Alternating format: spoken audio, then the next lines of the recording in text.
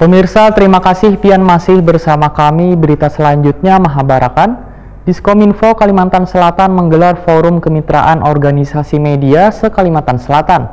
Kegiatan ini dihadiri bubuhan insan media, mulai dari media cetak, elektronik, online, hingga blogger di Kalimantan Selatan. Kegiatan ini untuk menyamakan persepsi mengenai etika, terutama untuk media sosial yang lagi berkembang pesat.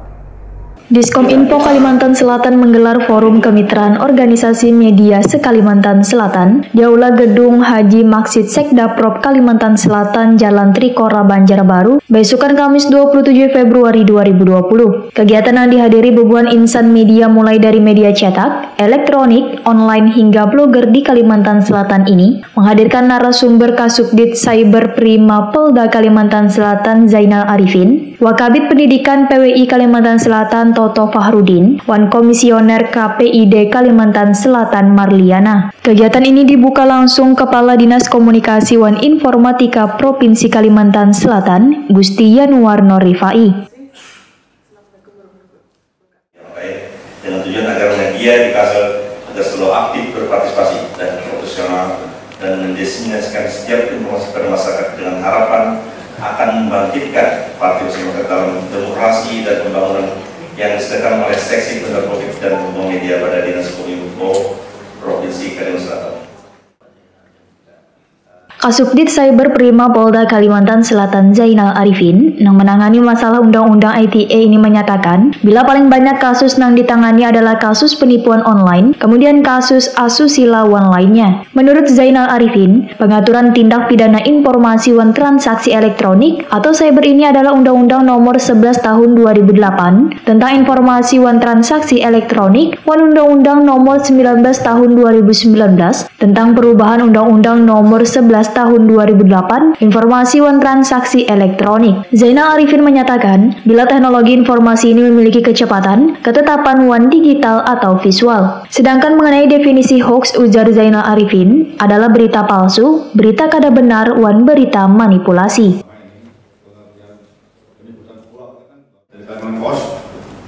Yang pertama adalah video sur. Tadi kami sampaikan bahwa di Dumas kami Bu itu paling tinggi penipuan online. Yang kedua tentang kesusilaan. Nah, yang kedua ini sudah sering kita proses. Yang terakhir kemarin kasus pornografi tahun ini aja sudah empat. Nah, dalam undang-undang anak itu tidak boleh diekspos karena menjaga anak juga. Jadi kami sedang menangani juga kasus pornografi anak di tingkat SMA sudah kita tangani yang akhirnya diarahkan ke diversi kasus pornografi yang lain juga ada. Kita proses. Kita proses. Cuman untuk ekspos kasus ini kan kita nggak tegang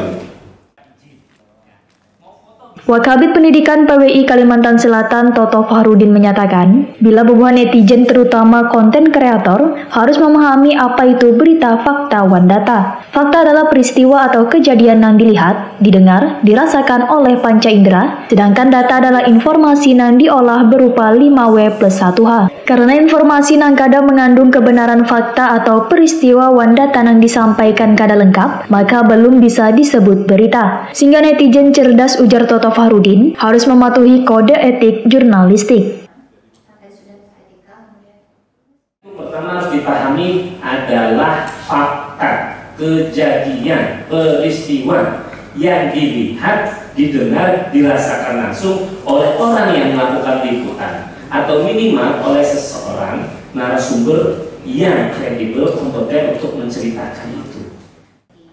Sementara itu, Komisioner KPID Kalimantan Selatan Marliana menyatakan, wayah ini warga kebanjiran informasi, maka bingung membedakan produk pers atau produk media sosial. Sehingga netizen pun diminta ujar Marliana untuk menyajikan informasi yang benar wan akurat, juga dapat menyaring, memilih wan memilah informasi yang beredar, kada langsung men-share berita tersebut. Selain itu memiliki etika untuk menyampaikan informasi ke ruang publik.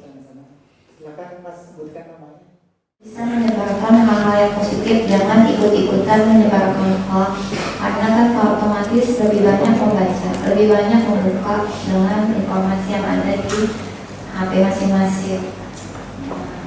Jadi milenial saya harapkan kan masih muda-muda jadi tidak ikut menyebarkan hoax jadi waktu itu banyak banget. Kalau saya hanya di KPI itu ada yang rutin menyebabkan misalnya mengirimkan uh, apa uh, jumlah hoax hari ini. Jadi apa informasi hoax yang dijadikan uh, yang tren saat ini.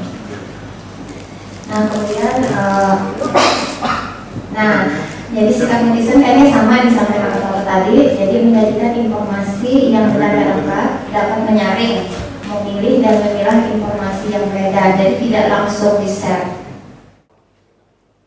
Kepala Dinas Komunikasi Wan Informatika Provinsi Kalimantan Selatan Gusti Yanwarno Rifai dari Takuni Prima TV memadahkan kegiatan ini untuk menyamakan persepsi mengenai etika terutama untuk media sosial nang lagi berkembang pesat. Apalagi wayah ini ujar Gusti Yanwarno Rifai didapati berita hoax sehingga diharapkan dengan hadirnya tiga orang narasumber ini bisa memberikan pemahaman bila salah dalam memberikan informasi akan berdampak pada hukum.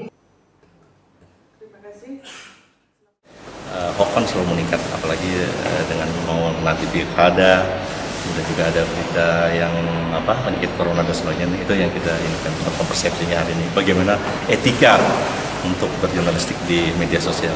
Kalau Diskominfo sendiri selama ini menanggulanginya seperti apa Pak? Kalau kami dari Diskominfo Provinsi itu sekedarnya ada laporan, tapi yang berwenang tetap di Kementerian Kominfo untuk menyetop dan sebagainya itu. Ada berapa laporan yang sudah di uh, Kalau dari kita ada sekitar yang 2020 antara 5 sampai 10 aja lah untuk berita-berita yang demikian yang berbau untuk masalah sara dan sebagainya kemarin itu kita laporkan di sana tapi untuk uh, penyetopannya tetap di Kementerian Kominfo karena kewenangannya ada di sana.